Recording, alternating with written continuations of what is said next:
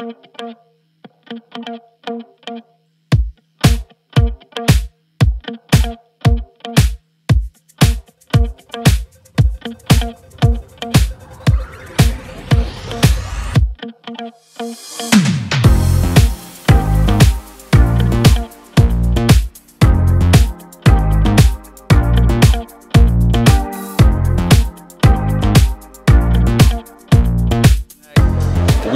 at Cafe Pinar, which is a Cuban eatery here. They got steam tables set up to where you can just walk up, pick your selection, kind of like a food court in a way, but in their own personal type of environment. As soon as you walk in, you get lots of just bursting aromatics, just covers your your scent, and they have everything from pernil. How you say pernil? Berlin. Pernil. Okay, my Yeah, bad. good job. Pernil. You know what I mean? Yeah. People were roasting me in the comments like I don't like the way he said it, but they have pernil. They got steak and onions here. You get your selections of rice. Just pretty much point out what it is that you want, and they'll bring it right to you. Good old comfort Cuban food here at Cafe Pin- Pinar. So stay tuned for the video. Make sure you subscribe. And let's get into some diabolical Cuban food eating.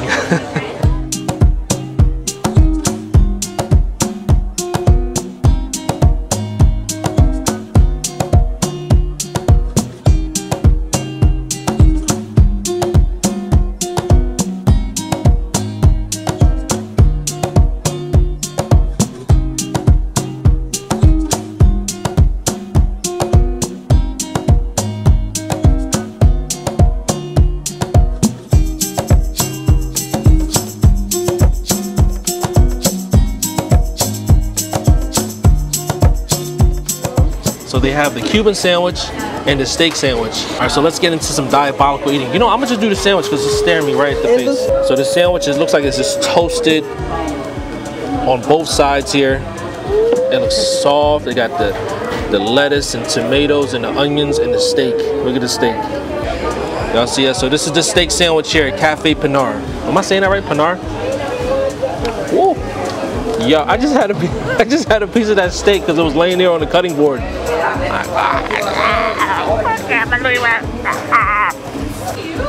Cuban comfort food.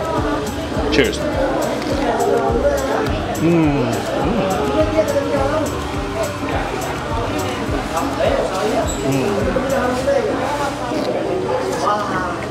Mm. That buttery bread. The steak actually puts up no fight. That steak is so tender.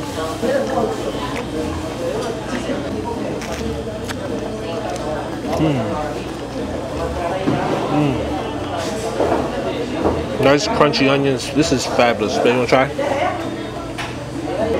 Definitely different type of breading here in Florida. But it goes so well with the steak sandwich. The steak is like so thin and tender at the same time. You see it? They? I don't understand what's happening. Look how thin and tender that steak is. Mm. So I've seen all this stuff looks familiar to me back home. So I wonder what makes like Cuban food and like Puerto Rican food, Dominican food different. Because it looks like the ingredients kind of look similar, but maybe it's more of the impl- implementation. But this is the rice. They put like a scoop of gravy on here. Can y'all see that?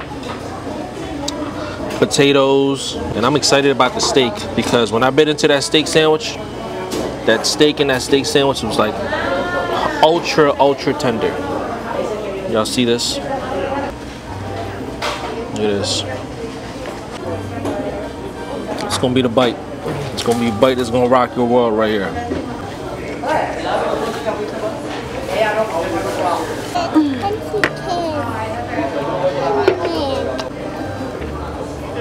I had steak with that rice, man. I'm just like a comforting meal that I needed. Mm. Hopefully y'all not watching this on an empty stomach. I'll tell you all that. Look at that. Extra gravy or extra sauce. Give me some of this. Did you highlight?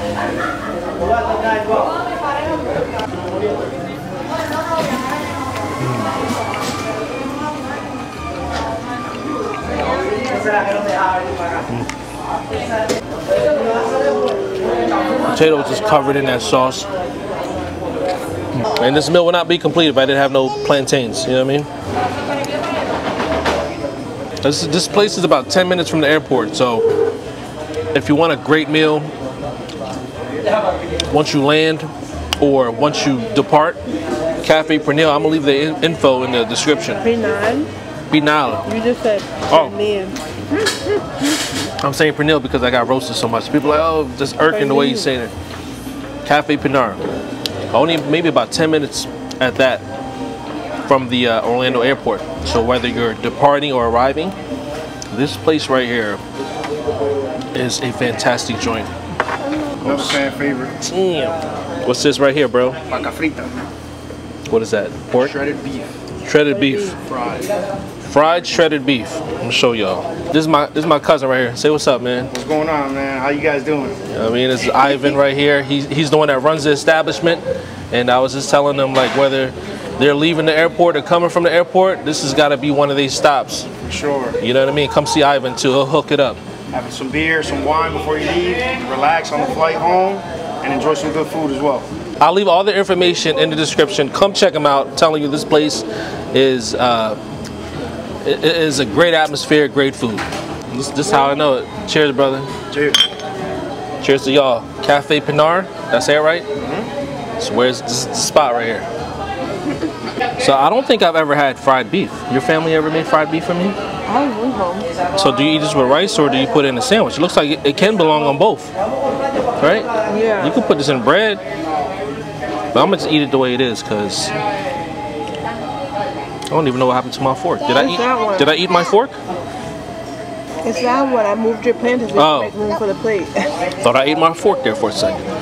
Let's try this out. Ooh, so looks like it's slow cooked, shredded, but then they put it on the flat top grill. It looks mm-hmm. beautiful. It looks, looks like you can either eat this with rice or put it in some some bread, make a sandwich out of it. But look at that. That's it.